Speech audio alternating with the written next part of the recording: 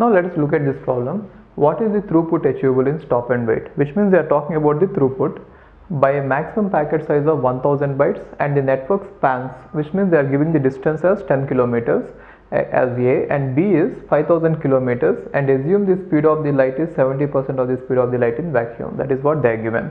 First thing is what is the throughput?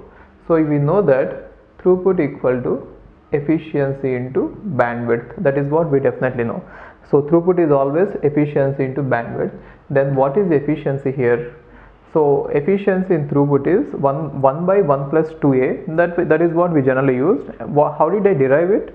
So it is nothing but efficiency is Tt by transmission time plus 2 into propagation delay right into bandwidth. Now what is Tt? L by B divided by what is this Tt?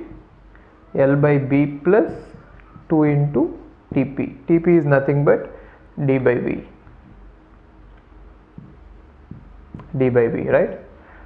Into b. Therefore this b and this b will cancel out. So what do we get? L upon this is l by b plus 2 into d by b so in order to solve this question what are the factors that you need is one is length of the packet which is already given. Length is nothing but 1000 bytes. And other is distance of the wire. Distance is nothing but 10 kilometers which is given. And other is velocity. Velocity is also given as 70% of speed of the light. So what is speed of the light? 3 into 10 power 8 and what is 70% of this? 70% is nothing but 2.1 you can take it as 2 into 10 power 8 meters per second which is already given so everything is given except the bandwidth. So in order to solve this question we definitely need bandwidth right? But then in uh, in some uh, the, the person who framed this question might have used the other formula. So one other formula or generally what people do is they just eliminate this. They don't use it. I don't understand why they don't use this uh, tt in the denominator.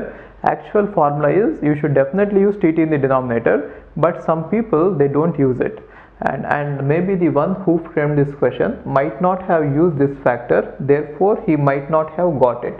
So solving this question is not possible without bandwidth but under the assumption that he might not have used this then the formula then the formula reduces to this. What is it? L upon 2 into d by v. So that is the formula. But then it is not actually right uh, but you know there is no other way we could solve this question. This is not given in gate but then in, even if it is given in gate you can assume that the tt is not taken because some of the textbooks they are giving it wrong and which is directly uh, they are eliminating tt then you will get this. So in this case what do you need here? D by v. So for this one if you find out the d by v you are supposed to get 50 microseconds is the propagation delay using the propagation delay as 60 microseconds if you solve this the throughput will be L. L means 1000 bytes which is nothing but 8000 bits divided by 2 into 50 microseconds. Micro is nothing but 10 power minus 6 you can solve this whatever is the answer that is the answer for this one. And for the second one b propagation delay is 500 into because it is 5 500 times. The distance has increased 500 times. Therefore the second one propagation delay is 500 into 50 microseconds. This is the propagation delay. And therefore throughput equal to 8000 divided by 2 into this number. 2 into 500 into 50 microseconds right? So this is the answer for the second one this is the answer for the first one. Uh, what what you could learn from this one is as the length of the LAN increases which means if the distance is initially 10 kilometers then the efficiency is better. As you increase the distance by 500 times the throughput decreases by 500 times. That is what is the moral of this question. So moral of the story is as the length increases the efficiency and throughput decreases in case of stop and wait. Therefore stop and wait is useful only for LANs but not for WANs maybe that is what you should understand right?